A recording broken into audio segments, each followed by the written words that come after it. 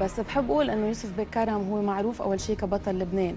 معروف أكثر شيء بوجهه البطولة وكيف حارب الأتراك كيف واجه الأتراك. بس كثير قليل من العالم اللي بيعرفوا كمان إنه عنده وجه فكري كثير مهم ووجه ديني. بالوجه الفكري مثلا بحب مشان المشاهدين هيك يعرفوا أكثر عنه. كان سباق بفكرة الجامعة العربية يعني اقترح الفكرة قبل 100 سنة من إنشائها. كمان بوجهه الديني كان كثير قريب من الله. هو أدخل الأخويت الحبل بلا دنس على لبنان لأول مرة كمان. فهدول كان عنده عدة وجوه بركي بيجري التركيز عادة أكثر على الوجه البطولي يعني بلبنان بتعرفي بحبوا المعارك بس كمان كان عنده وجه ثاني إيه التمثال اللي عم تقولي عنه بأهدى مش بصغرتها آه مطرح ما انه محطوط بسموه الكتله هو مثل مزار لكثير زوار بيجوا تشوفوا التمثال ومكتوب على التمثال فلأضحى أنا وليعش لبنان يلي هو شعاره ليوسف بالكرم هلأ الكتلة يعني الساحة وين محطوط التمثال هي بساحة الكنيسة كنيسة مرجرز.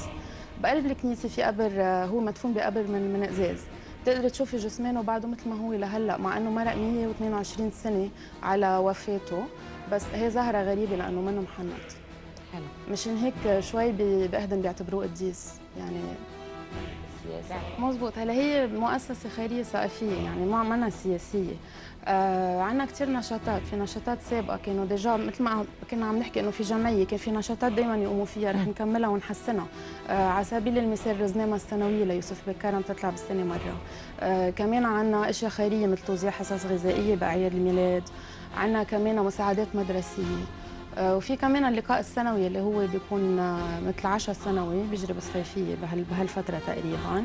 يلي هو هدفه جمع تبرعات للمؤسسة. وبذات الوقت لقاء للمنتسبين للمؤسسة ولأصدقائهم واللي بحب يشارك أكيد لأن دعوة مفتوحة للجميع.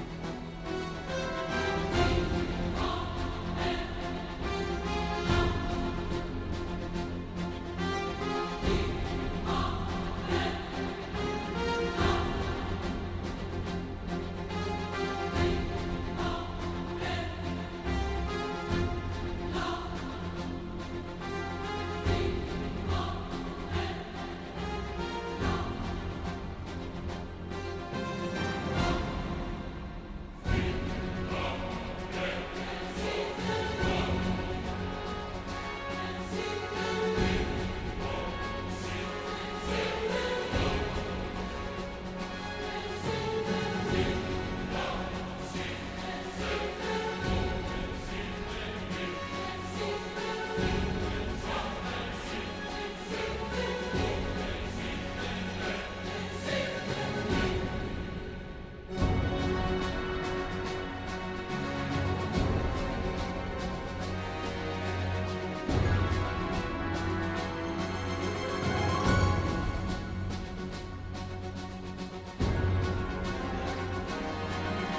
مؤسسة يوسف بيك كرم قبل ما تكون مؤسسة كانت جمعية من أيام الخمسينيات تقريبا وتحولت وبعدين وقت الحرب شوي خف نشاطها وكانت جمعية للسيدات.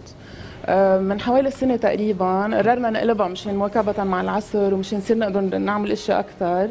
عملناها مؤسسة سجلناها بالدولة عملنا انتخابات جرت الانتخابات بتموز وانتخبت أنا رئيسة. وبلشنا بكثير نشاطات هلا عم نشتغل فيها.